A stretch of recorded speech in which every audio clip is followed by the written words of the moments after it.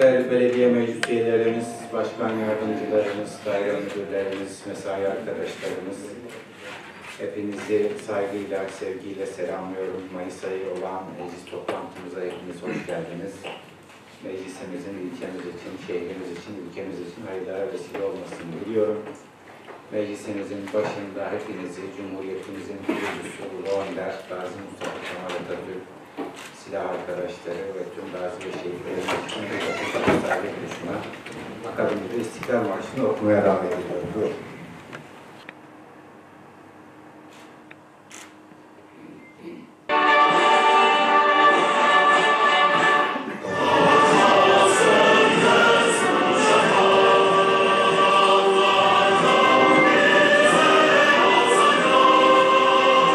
Değerli arkadaşlar, eski adliye lojmanları olarak bilinen Yarasanlar Mahallesi'ndeki 1453 metrekarelik alanda 16 milyon TL'lik bir yatırımla hayata geçireceğimiz Millet Kütüphanesi ve Gençlik Merkezi'nin törenlerini de Ramazan ayı içerisinde atmıştık.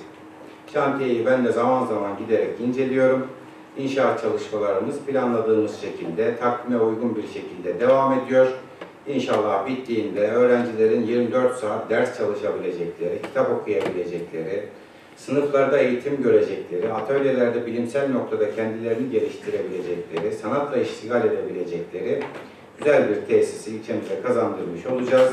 Rabbim kazasız belasız tamamlayıp gençlerimizin, halkımızın hizmetine sunmayı nasip etsin.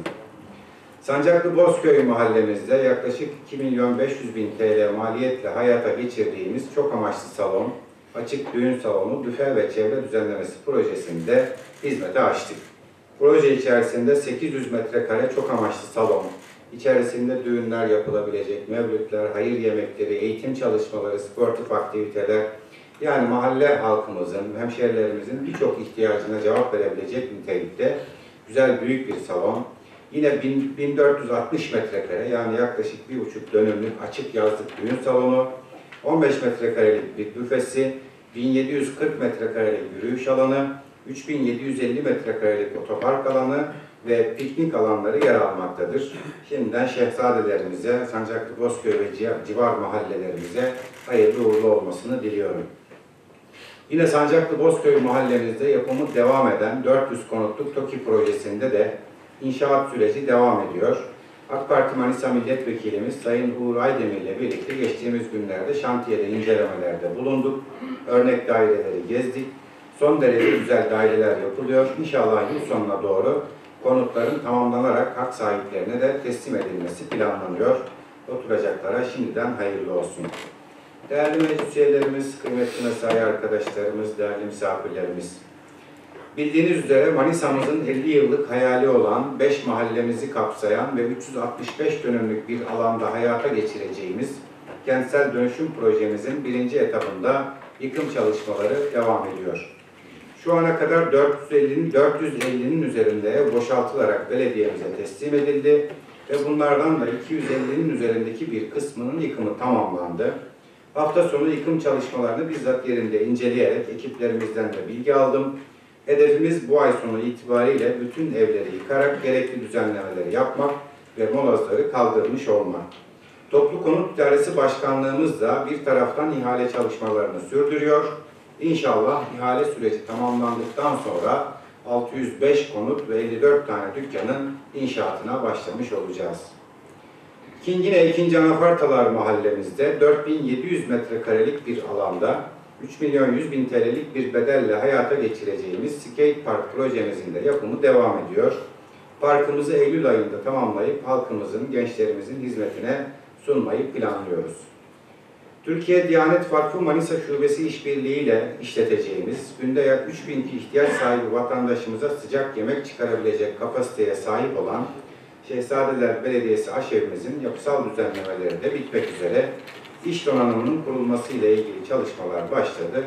İnşallah içerisiyle ilgili tefrişat çalışmaları da bittikten sonra buranın da açılışını gerçekleştireceğiz. Daha önce de duyurduğumuz gibi buradan da evinde yemek yapamayacak durumda olan e, hemşehrilerimize inşallah sıcak yemek ikramında bulunmuş olacağız.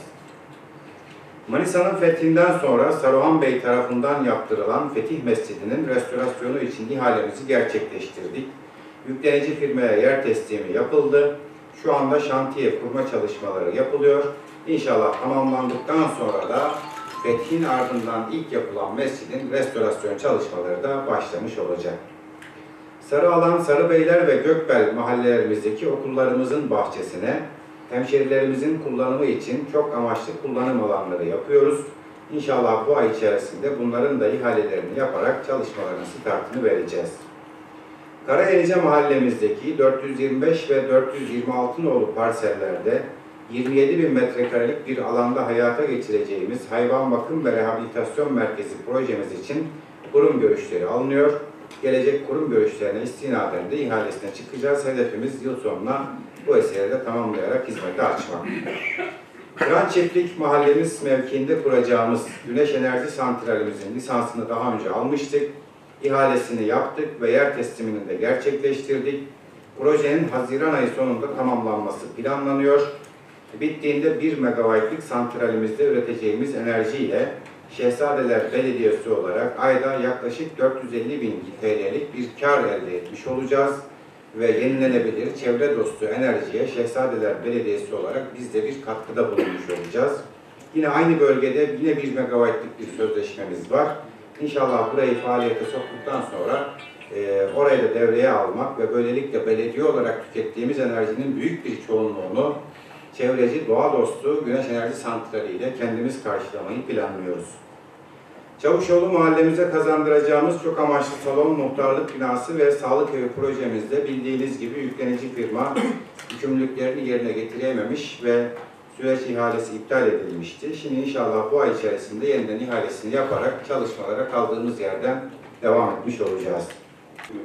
Sayın Meclis, son yıllarda baş gösteren ekonomik kriz ve hayat pahalılığı yüzünden okul kantinlerine askıda Sunuyorum. Kabul edenler, kabul etmeyenler oy birliğiyle kabul edilmiştir. 6, 8, İmar İdari Karma Komisyonu'nun 19.04.2022 tarihli bir sayılı Halıklı Mahallesi 935 parselde kayıtlı 1966,25 metrekarelik taşınmaz üzerine mevcut olan binanın 100 metrekarelik zemin katının sağlık hizmetlerine kullanılması amacıyla İl Sağlık Müdürlüğü'ne tahsisiyle ilgili rapor. 8, 9. maddede yine e, Veziroğlu mahallemizde müftülüğe bir e, tahsis var. Komisyonlarımız uygun görmüş. 8 ve 9. maddeleri oylarınıza sunuyorum. Kabul edenler, kabul etmeyenler oy birliğiyle kabul edilmiştir.